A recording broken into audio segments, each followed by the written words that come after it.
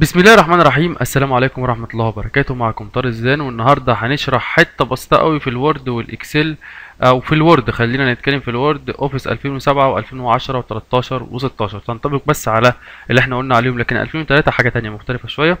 النهاردة هنتكلم إزاي تحول الأرقام في ال Word من تخليها عربي وإمتى تخليها إنجليزي وإمتى تخليها عربي وإنجليزي الاتنين mix في document واحدة.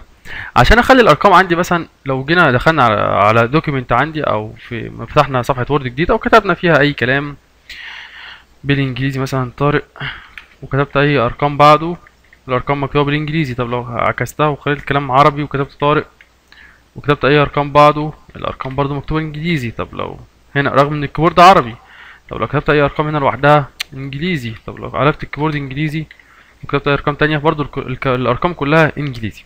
طب إحنا عايزين نحول هنا الارقام دي نخليها عربي بس أو نخليها English بس هي English بس كده كده هي دلوقتي. عايزين نخليها عربي بس أو عربي و English حسب الكلام اللي أنا بكتبه بنخش على قائمة اسمها file وبعدين كده أختار options بعد كده أخش على حاجة اسمها advanced وأنزل تحت شوية هنا تحت لحد ما أخش على حاجة اسمها show document content وأدخل على ال numeral هلاقيها موجودة عربي. ده معناها إن ال- الأرقام اللي قدامي ديت هي ديت اللي معترف بيها قدام الوورد إنها دي الأرقام العربية.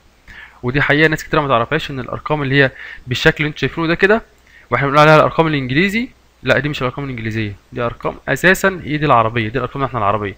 لكن أرقامنا العربية اللي إحنا بنستخدمها اللي هي الواحد والاثنين اللي بص عليه والثلاثه ومش عارف إيه الكلام ده كله دي أصلا أرقام في الأصل هي هندية مش عربية. يبقى إحنا ارقامنا العربية هي الارقام ال- الغريبة اللي هي اللي إحنا بنقول عليها انجليزي دي اللي هي الخمسة وال... زي ما أنتم شايفين كده ده رقم عربي أصلا المفروض ان ده رقم عربي. فالمفروض دي خمسة وخمسة واثنين وأربعة وواحد اتنين يعني ده رقم ده ده الشكل العربي بتاع الأرقام. لكن الشكل التاني اللي إحنا بنستعمله ده الشكل الهندي.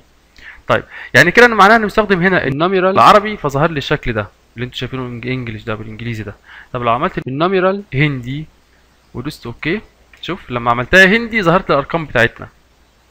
يبقى إحنا ارقامنا أصلا في الاصل الشكل ده بتاع الهند مش بتاعنا إحنا. وإحنا الشكل بتاع الانجليزي ده هو بتاعنا إحنا. طب لما عملتها هندي كله اتحول بالشكل العربي اللي إحنا قلنا عليه ده بالشكل اللي إحنا قلنا عليه ده. طب افرض أنا عايز اكتب text أو نص عندي في ال... أو paragraph عندي في ال document بتاعتي وفي كلام عايز اخلي ارقام شوية بالانجليزي وشوية بالعربي. لو كان لو أنا كاتب كلام بالانجليزي زي كلمة طارق كده المفروض اللي بعدها ده يبقى انجليزي. ولو كاتب طارق بالعربي يبقى اللي بعدها بالعربي. عايز اعملها كده بدخل على file و options برضو تاني و advanced لحد ما أروح ل show document content خليها context إحنا قلنا لو اخترت عربي هيظهر لي الأرقام بالإنجليزي لو اخترت هندي هيظهر لي الأرقام اللي هي العربية اللي إحنا شغالين بيها دلوقتي. لو اخترت context بيعمل لي الأرقام على حسب ال text اللي قبلها إنجليزي إنجليزي أو عربي عربي. يعني لو كاتب قبلها كلمة إنجليزي هيخلي لي الأرقام بالإنجليزي. لو لو عامل ال keyboard بالإنجليزي هيكتب له أرقام بالإنجليزي لو عامل ال keyboard بالعربي هيكتب له أرقام بالعربي لو كاتب كلمة عربي اللي بعدها هيبقى برضه بالعربي. تعال نشوف context هتعمل إيه. دخلنا على context وبص لاحظ اللي هيحصل في ال document بص كده كلمة طارق والكلام اللي بعدها عشان كانت ال keyboard معمولة إنجليزي فكتب لي الحروف بالإنجليزي. طارق ده وال keyboard كانت معمولة عربي فكتب لي الحروف بالعربي. هنا أنا كنت عامل ال keyboard إنجليزي فعمل الحروف إنجليزي. طب لو جيت تحت هنا ال keyboard دلوقتي إنجليزي. لو جيت كتبت كده أهي إنجليزي. لو عملت ال keyboard عربي هيتحول معايا عربي يبقى جينا تاني قلنا file options advanced show document content هخليها context كده يكون درس النهارده انتهى والسلام عليكم ورحمة الله وبركاته.